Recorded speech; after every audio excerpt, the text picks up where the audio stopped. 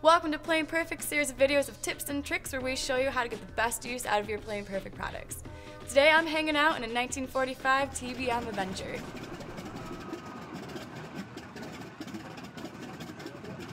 Today we're going to be talking about the Plane Perfect Wing Wipe.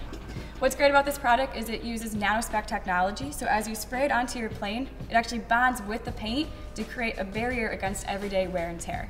In addition, you can also use it on any surface, including metal, fabric, and composite. So today we're actually going to be working on this really cool TBM Avenger. Um, so how you're going to use this product is you're going to spray the surface, mist that with your wing wipe. You're going to wipe it off with your microfiber, microfiber towel.